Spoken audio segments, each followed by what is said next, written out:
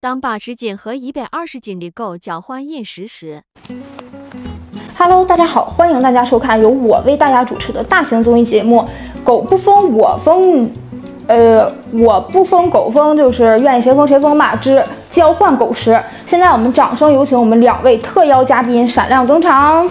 首先登场的这位是我们的钱袋儿钱先生，紧随其后的是一位名叫钱多多的女士。两位虽为一个品种，但无论从身高还是体重，差距都是蛮大的。那接下来，让我们通过节目了解一下这两位的饮食习惯有多么的不同呢？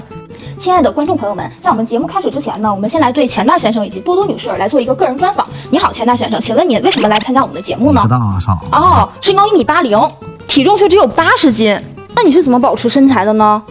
咋吃都不胖，这太让人羡慕了吧？那我知道你的想法了，就是想胖呗。好的，收到。多多女士，请问你是什么原因来参加我们的节目呢？咋吃都胖？你礼貌吗？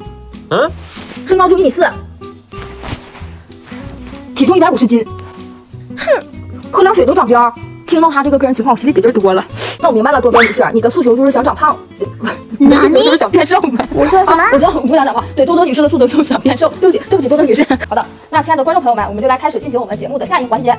现在开始了我们的早餐交换环节。多多女士的早餐是大半盆冻干狗粮，加上一罐金枪鱼鱼子酱罐头。而钱先生的早餐则是羊奶泡了点冻干。随后二位自愿交换了早餐，让我们来看看接下来会发生什么吧。钱先生面对这么硕大又油腻的一份早餐，显得无从下口，吃的那是相当费劲了。我们再来看看多多女士这边的战况。能看到吗？多多女士可是来者不拒的。结果可想而知，多多女士飞快地解决掉了钱先生的早餐，而钱先生在勉强地吃掉了上面的罐头之后，对我们表示真的吃不下了。但是钱先生没想到的是，迎接他的还有更巨大的挑战。